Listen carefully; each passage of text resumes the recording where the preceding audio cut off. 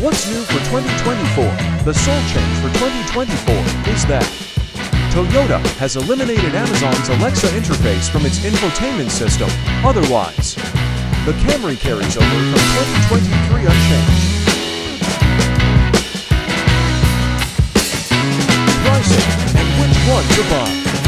The price of the 2020 for Toyota Camry starts at 27.